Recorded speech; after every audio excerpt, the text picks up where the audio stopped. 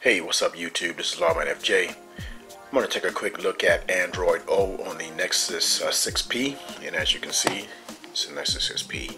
There you go. Um, so the uh, beta program started offering this um, as an over-the-air update. I actually I had it on this for about three weeks now because I, I actually side-loaded it uh, using AB, uh, ADB.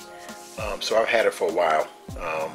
So I want to talk about a little bit just to kind of show you what it looks like on the Nexus, okay? So let's take a look. Now, most of the uh, changes uh, for Android O takes place under the hood, so you won't see a lot of aesthetics uh, that's changed for this uh, update.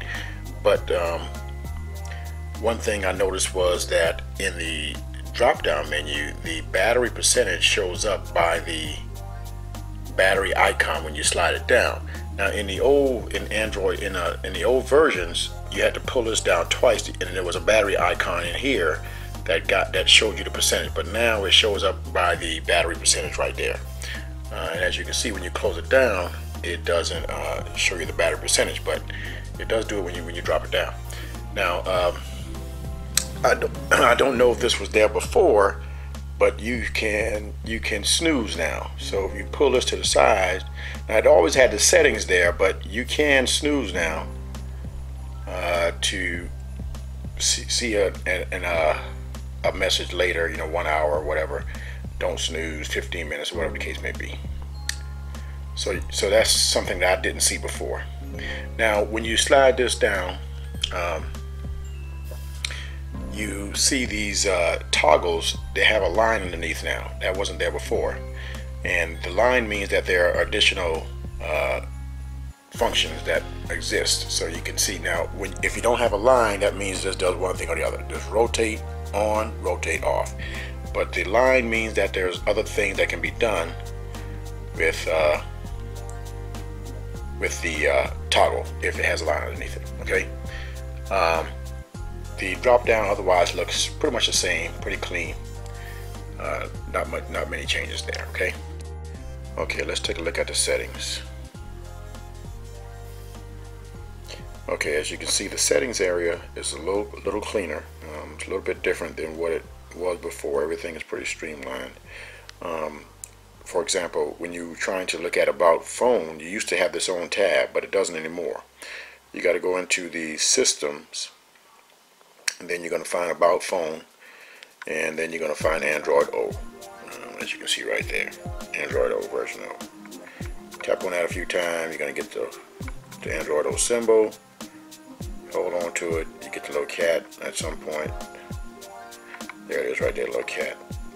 Don't really know what that is, but uh, it's part of the Easter egg. That's the build number right there for the Android O. And I, as I said, I don't have the, this is not the over-the-air version. This is the um, uh, version that I side loaded uh, earlier uh, with ADB. Um, so I just downloaded the factory image and I side loaded it. It's pretty easy, pretty simple. Got it.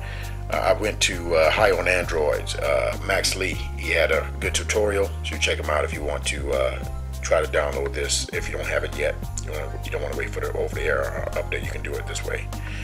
but it works pretty good. It's pretty smooth. One other like in languages, you got to go there to get to, to move. So you go to advanced, advanced, uh, uh, you know, area, and then you, you find swipe for notification. That's when you get to swipe down. That still works pretty good.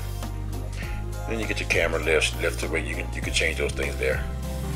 Um, so you got to go into some different menus to get to some of the things you would normally get to anyway. Uh, one of the things I like is the storage area. You can free up space.